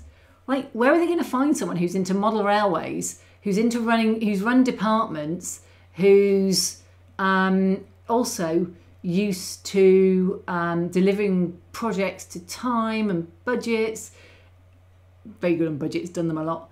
Um, you know, who's got wider than just the railways, because not just railways, there has to be a lot of other moving things. Who's got the innovative stuff that when they have to design a working water hose scenario for Japan, they can do that. You know, there's a limited number of people that are going to do this who are based in the UK. Um, so yeah, I look at it and I go, my rational brain tells me it's the perfect job. I've been led here. YouTube is slamming the door behind me. I'm onto like, I'm shrinking on my subscribers. There's a definite slamming door. And if you believe, like I do, that there's guidance in life, I'm being guided here so much. And yet I've still got that voice going, mm, What do you think you are that you're doing it? And it is hindering. It is. I have to learn to kick that. So, Polite, he's been lighting HO model cars with LEDs for 20 years now. And right from the start, I was better than many professionals today. I also had a part time job with it, but I never had the opportunity to make videos like they're popular today. Meanwhile, nobody's interested in my models anymore, not even my subscribers, and I'm considering closing my channel. I think YouTube, uh, I would say my problem on YouTube is that I'm not into video editing and so my videos are quite dry and they're not YouTubeable videos like a lot of people. I don't inject the humour, the witty things. I did a collab with James and I look at his video and I look at my video, very different styles. But he loves video editing and I hate video editing and it comes across. But I would say if you're not enjoying YouTube, don't do it. It's a hobby. It's a hobby. If you don't enjoy it, don't do it and I will carry on doing YouTube because I, I still like putting stuff out there but I'm not I'm not going to allow it to be the prevalence in my life that it has had and the sway it's had. Scott talking to Phil, that classic either or question where the correct answer is yes. Is being neurodivergent a help or a hindrance? Yes. That's true. Um, there are good points and bad points to every personality trait. You just have to be in the right job and hobby for your personality trait. So, King Fox Junction, how long does that clay take to dry? Depends how thick it is, depends how damp your cloths are on top. I tried to make mine dry over two or three days so that it would dry nice and smoothly and evenly. The top wouldn't dry quickly and then crack when the bottom underneath dried and shrunk and that's your problem. So you want it to be taking a day or two to dry. You don't want it to dry overnight. But seriously, if I'd left the cloths off, that would have dried I suspect overnight, no problem, but probably within six hours or so. Because it's a thin layer and it does dry quite quickly. But if you let it dry too quickly, it is, the top layer can dry, it becomes, it's shrunk, it's fixed, and then the layer underneath shrinks and the top's like, mm, and it causes problems. So you want it to be slightly slower. So Draxiteller's Paradise. This is deeply satisfying for me to watch you build this. I suggest to a friend who also likes model building. Oh, thank you. This is a very different style to my YouTube channel because this is mostly time lapse. So you actually get to see how long it takes to do this. Um, and it's sped up. It varies. I generally just edit it and then to, it comes to an hour and a half. So it varies each time. But I think this was about eight hours or something, seven or eight hours long form when I first looked at it. And I'd done a bit of editing by that point. And within that time, there's things that I've done that maybe didn't make it on camera that have been cut out as well. Kathy will never catch up with the chat lol. Oh, if I scroll, I don't get down anymore. Um, so Big R says it's 12 to 24 hours. I think it does depend on you. You do want do want the damp cloths according to Mel, the terrain tutor. I am not arguing with Mel. That guy knows what he's talking about. I don't. Um, Hi, King Fox Junction. Um, so Tamsin, if ever I have to do a deep resin pours, I'll probably go to some of my old work colleagues for help. The teams in the anatomy laboratory in the Grant Museum of Zoology at UCL did them all the time. Yeah, it's about picking the right resin. It really is. And they'll be able to advise you the best place um, to get the right resin for whatever it is you're doing. Deep pours need a specific resin, and one of the problems is people do use the wrong type. Phil, this has been an interesting chat this evening, but I really would have expected tune in next month for Static Grass, the origins of the universe and the meaning of life. Well, we normally do Doctor Who about now, so I, you know we've covered some of those things. Uh, origin of the universe. Um, static grass doesn't really feature much on this video, I'm afraid. So next week it may not be there. There's a little bit of static grass because you know it wouldn't be a video without one. But can't remember which week that is actually. I think next week is probably just more base work because this is one of the things people forget about railways and things. There's an awful lot of groundwork to do. It, and I've, we've done the buildings already, but there's an awful lot of groundwork and everything to do. It's not the most. Oh, that's the lorry. So I had a problem. I put in my proper building, and then I realised I squished this one when I did it. But when I printed the problem with the roof on and everything, I did it full size and I'd squashed this one front to back and it's actually a bad print. It's got a few lines on it that aren't great. It's the one I ended up using because I couldn't get the lorry through the gap with the bigger building. And this one, so it, it's right in the Z plane and in the X plane, but in the Y back to front plane, it's just been shrunk by two or three inches so that it would have fit for the road. And you don't notice it when you're front on to a layout. You don't notice that you've smushed. The back of my stairs on that wall, which is off to the right there, they're smushed massively. Massively smushed back. Technical term smushed. And so this is just forcing the perspective so it fits. And as a result, I had to redo the clay here um, because the um, base that I had for it was the wrong size. Uh, but yeah, now the lorry goes to the door and the gate that I'd done fits and it just looks more reasonable because I actually have to get a car in there as well.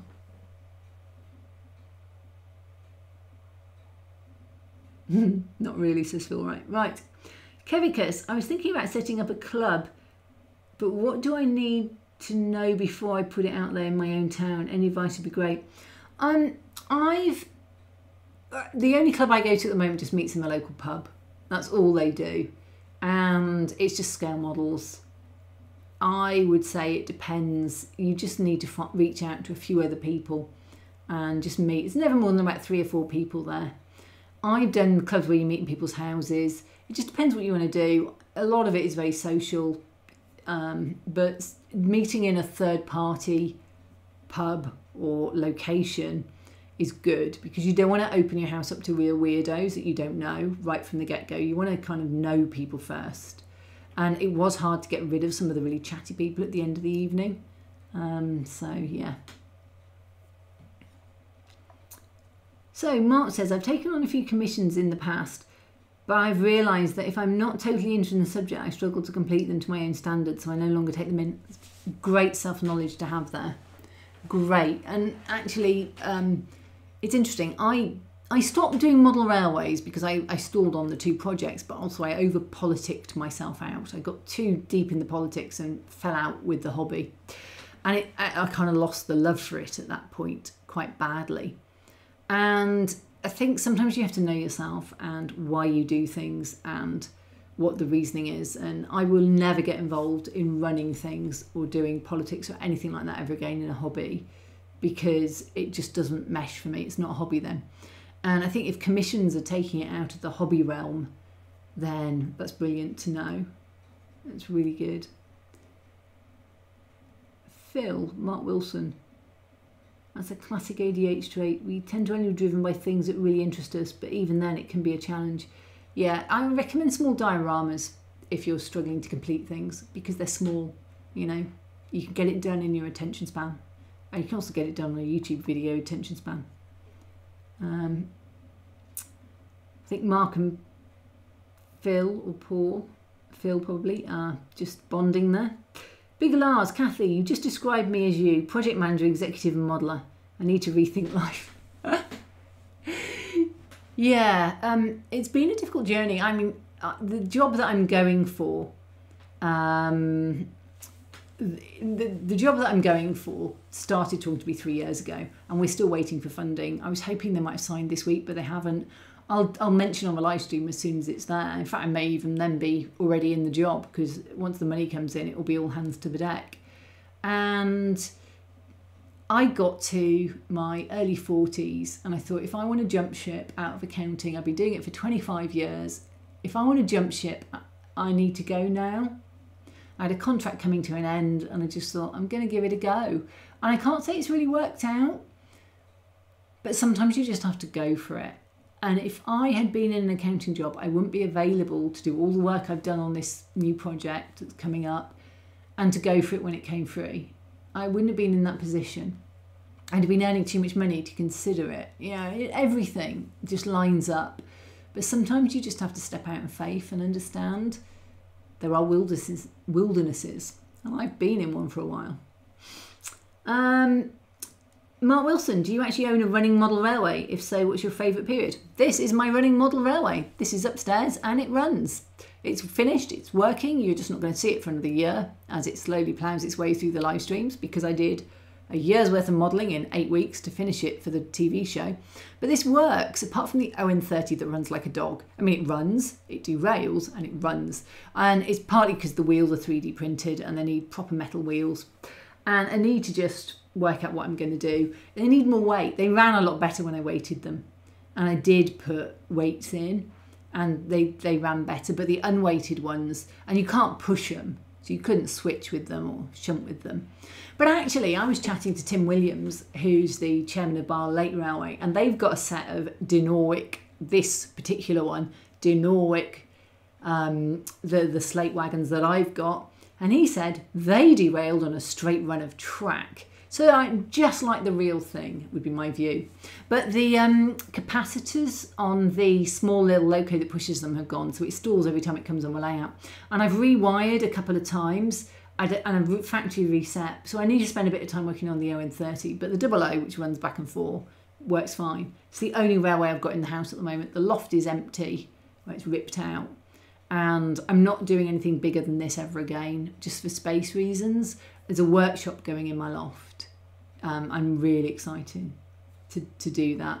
They should be they should have started already, but hey, they're running late, which suits me because I haven't actually cleared the path to it. I've got stuff everywhere around the house, and I need to reorganise my stuff around the house so I can get the stuff out the landing, which they're going to be building on, so that um, they can get up there. But I think they're coming in a couple of weeks. I'll drop them in an email this week and see. Uh, my favourite period is probably about the 50s or 60s. Um, you know, end of steam, beginning of diesel. It's when I like. Norm, the building covers up your beautiful tunnel. That messes with my OCD. Um, yeah, it does. But you can look through the hole at one end of the layout and look all the way through down to it. So that's cool. I also didn't paint the inside of the tunnel, which I should have done before I put it in place. Note to self, paint insides of tunnel before you glue them down. Um, I made it to the bottom, Norm, yes, I have. Chat, I finally caught up with 20 minutes to go. Um, so stating the obvious is all uphill from here then, let's hope. Um, yeah, it's just the trouble with these ON30, uh, 009, what am I on? These 009 little wagons is they're about this big, you know, just wee diddy little things. And they're empty, them 3D printed, there's absolutely no weight to them. There's nowhere to put weight on them because they're really small and low slung. I don't think the wheels are quite round. I don't think the 3D prints were the best I've ever done. They were, I used them pre-supported ones by um, Tim, who gave me the wheels and the beautiful designed wheels, but the supports were a little, I, I, they were light and I put them on my whale. I should have put them on my Anycubic because they would have printed on the light all right, but I, sorry, my Elegoo Mars because they would have printed fine on there, but I put them on the whale and it just kept pulling them off and it distorted them slightly. The whale's got more suction on it. Um, yeah, I do mean 009, sorry. I did know N30 for. I've got a few bits of it still floating around. And um, yeah, whoops.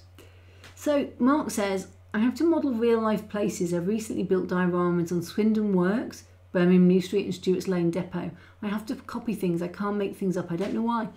It doesn't matter if you're enjoying it it doesn't have to be fictional. I love making up things so I can do explosions and I can do sci-fi. I love living in fantasy worlds, but I was chatting to my dad the other day and he was like, I don't like fantasy worlds. He didn't like Rings of Power, is what brought the discussion up. But he didn't like Lord of the Rings, he refused to watch it. So why we thought he'd like Rings of Power, I don't know, because we're really enjoying it. I love fantasy worlds because they're not real. That's why I like them. I don't want my TV to be depressing reality. I want it to be depressing fantasy reality. Um, you know, I like my TV to be different. Oh, I watched the prologue from um, Witch of Mercury, which is the new Gundam season coming out. Gundam love to have children and war is kind of like the main themes, and this one is no different. But wow, it was really packed a punch. It's 24 minutes long. Um, it's on. It's in English subtitles on the Gundam Info YouTube channel. And if you're into anime, um, Gundam is one of the OG. It's from like 1979, the original. And I've watched probably four or five of the series. Hard to get over here. And um, this is the new one that's coming out, and it was it was cracking.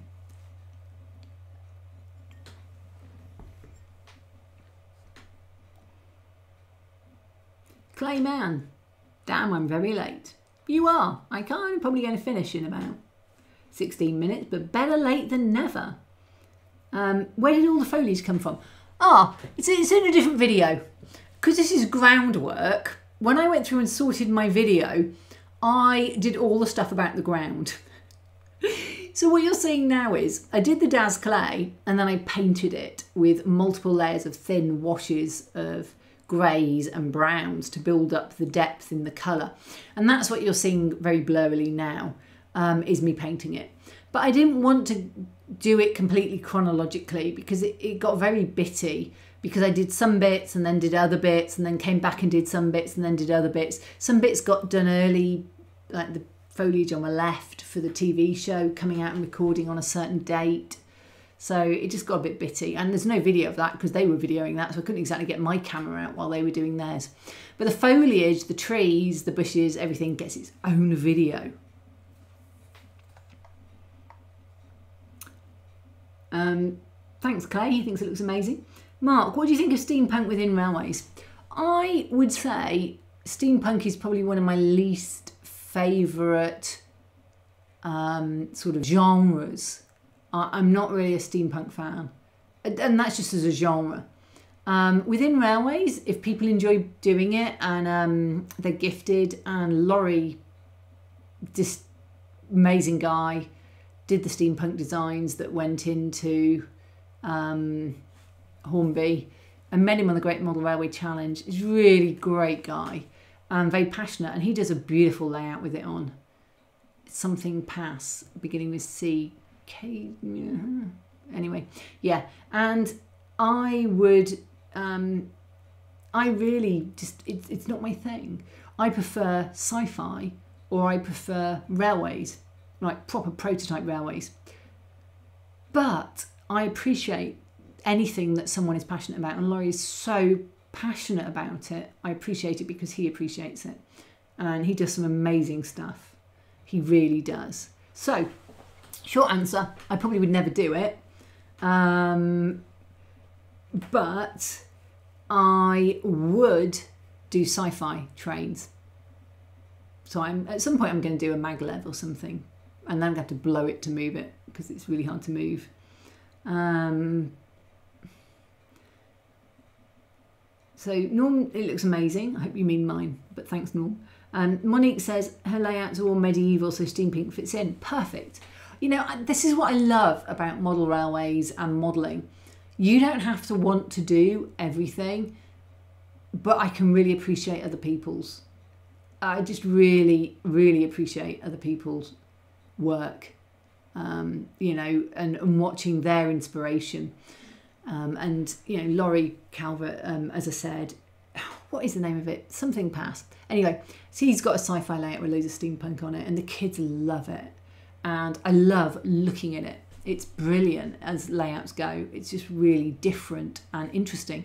And what I look for is different and interesting. That's what I'm looking for. Something I've not seen before. Now, there can be something in a great Western branch line that I've not seen before, but it's harder.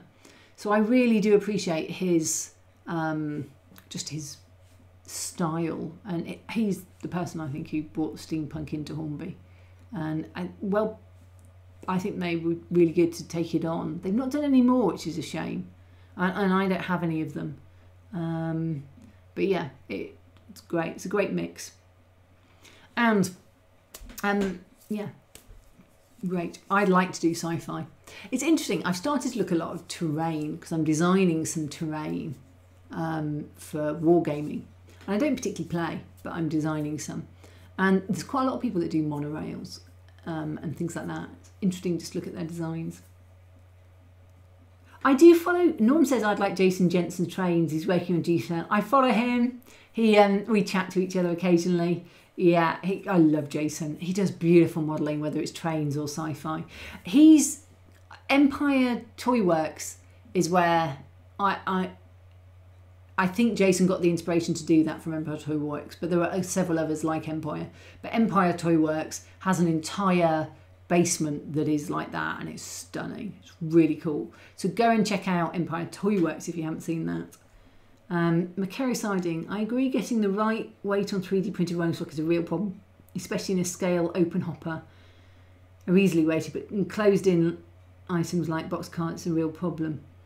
Um, on box cars, I used to be fine with because I've got the metal weights and they go underneath because there's um, quite a long frame and I would put them underneath these metal weights or you can put them inside. But open hoppers, just nightmare, absolute nightmare. Uh, so, Darth Buzzes, his only hang up with steampunk is it spawns cyberpunk, dieselpunk, atompunk. I love cyberpunk. I've got a huge number of cyberpunk um, figures. But to me, Cyberpunk is um, it's like the game, which I haven't played because I've got an Xbox and some playable still on that. Um, but you know, I like Cyberpunk because I love that neon noir kind of look. I've got the book by Liam Wong, After Dark, and he's got another one, Tokyo. I've got Tokyo After Dark's coming out. I love that, just that neon, and I would like to do that as a diorama at some point, a cyberpunk diorama. In fact, I've got one planned to show off because um, I need to do it for my 3D printing. So I've actually got one coming in a couple of weeks, but it's a it's a Stinger by Second Dynasty firing down a road at either a motorbike or a car, and they're both cyberpunk, and it's all in neon and whatever. But you know, it's a it's a specific one because I need to get this Creality done. Their video. Um, so Channel Five didn't pick up um, Mark is asking about Great Model Railway Challenge. I've not heard anything in years. It was kind of dead pre-lockdown. So I don't think it's coming back, would be my answer, I'm afraid. Mark Wilson, what's your favourite model diorama that you've ever made? Now, considering I've just said how much I hate my work, I do have some that I like. I'm not that bad. Um, oh, and I think we've got to the end of the movie, so I'll put me back on. So the two I really like best, I love The Mandalorian because I just love that scene. It's got the stormtroopers that bob, and I just really like that as a scene. I like the Halo one, though they did change the sci-fi style on me. Um, I quite like the Clone Wars one because it's an emotional moment in there, and I connect with the emotion of it. So those are my favourites that I've probably made. Cato Pass. Thank you. Thank you, Dragon Junction, for dragging that out for me. I was going to home going, no, that's somewhere I've been. Cato Pass, yeah, it's excellent um, steampunk sci-fi mashup kind of layout and the kids adore it. Big Lars, Kathy, thanks for sharing your video. Your work is impressive. Hope to see more videos. Have to go now. I'd love you professional feedback for my work on my channels I move forward. Drop me a, a DM on Instagram or something or on Facebook or something to my page on Facebook or to my Instagram, and definitely happy to do that. Tim Darthbird, Cyberpunk is the OG. Thank you. Yeah, Cyberpunk is the OG, and I do like Cyberpunk. You're going all the way back to Blade Runner for that. Um, and Clay Man says, I don't think I'll ever not love the cyberpunk look, also known as Blade Runner, even though modern cities almost look like Blade Runner now. Well, yes. And I think that was just the prediction of Blade Runner was so good, wasn't it, about how things look? But how do they look? This is like a Matrix moment that will really fry your noodle. Um, do they look like Blade Runner because they're inspired by Blade Runner, or was Blade Runner just prescient? Norm, that makes a lot of sense. I don't know what makes a lot of sense, but um, I agree, Norm. By Lars. Darth Bears, I actually love them all really, so not sure what my hang up is though. Uh, it's just probably the naming. Everything gets a badge now, doesn't it? Claire, I'm glad you like the foliage. There will be a whole video on foliage because it is obviously my favourite bit. Ooh, Mark Wilson. Am I a Warsy or a Trekkie? Big question. Well, I was a Trekkie, like 100% a Trekkie, up until The Mandalorian and Clone Wars. I would say Clone Wars converted me over to Star Wars. I'm not really, I prefer TV over movies, and I love the Star Wars TV. Not a huge um, recent track. Discovery leaves me cold. Lower Decks is okay. I actually Enterprise the second time around I thought was better. I haven't rewatched TOS. I rewatched them all over lockdown apart from TOS, and but I think Strange New Worlds is very good. But when it came to which one did I work, watch first, I think there was Strange New Worlds, The Orville, and something else that came out that night.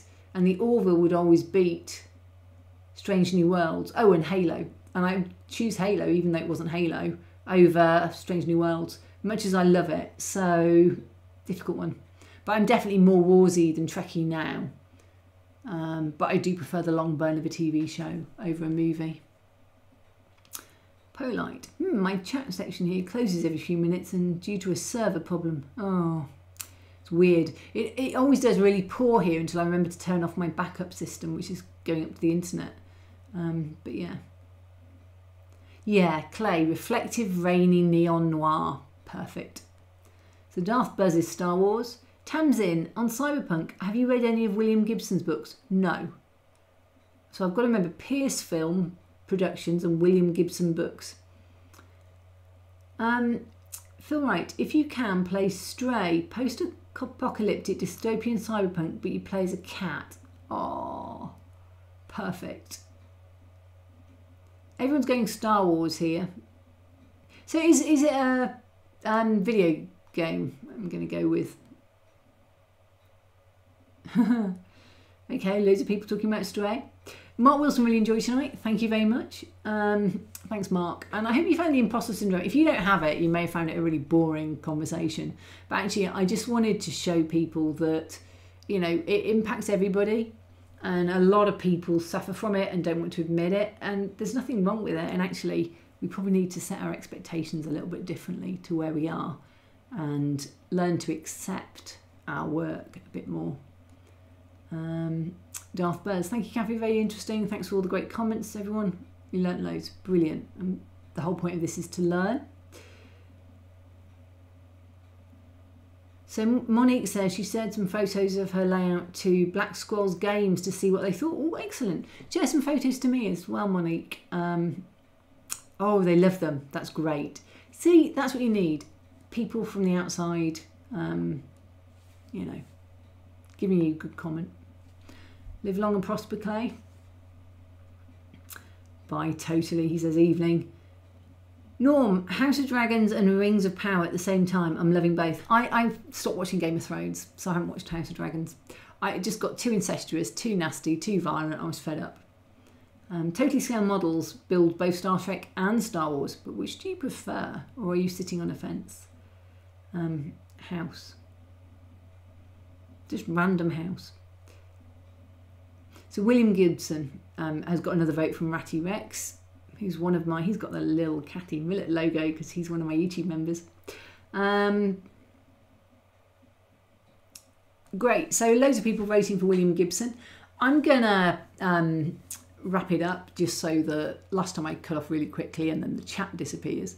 But thank you all for joining. It means a lot to me that you've come and spent a Sunday evening listening to me. If you're watching it later on, thank you for watching it later on.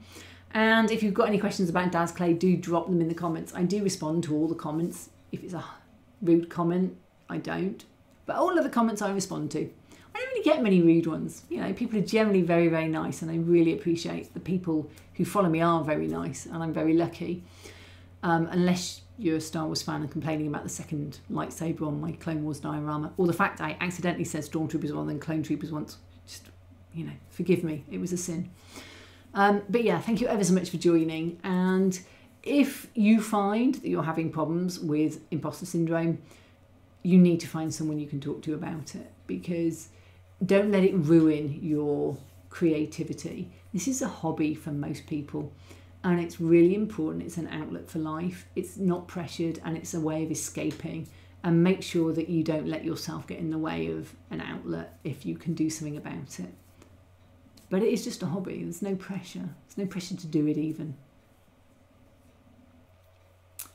Um, right, so Tamsin, Gibson is the daddy of the genre. If you do read them, start with the Sprawl trilogy, Neuromancer, the original cyberpunk novel, Count Zero, and Mona Lisa Overdrive. It's a great book. I haven't read a book in years, I just don't get time.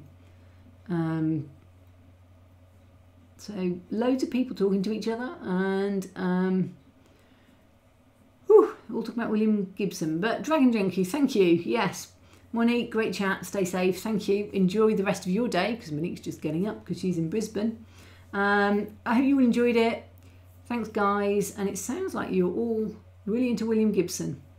Um, and thank you again to Norm, Digger, and Timber, who are my moderators. I couldn't do this without them, though we didn't seem to have any chatbots that I noticed this time. Thank you, guys. End the poll so we can see where we got to as well. And um, thank you very much, guys, for listening. Uh, there'll be a video out probably in a couple of weeks on 3D printing an ice cavern with little Diddy clones in. And there'll be a few 3D print ones as I get those videos out there for Creality and Elegoo for the free printers they gave me. But I have to say the Creality Ender 3 S1 Pro, printing like a dream. Elegoo Mars 3, printing like a dream. Both have been beautiful printers and they deserve some great videos. So thanks everyone. Have a great modelling week and I will see you all next time. It will be in a month's time, second Sunday, 8 p.m. See you then.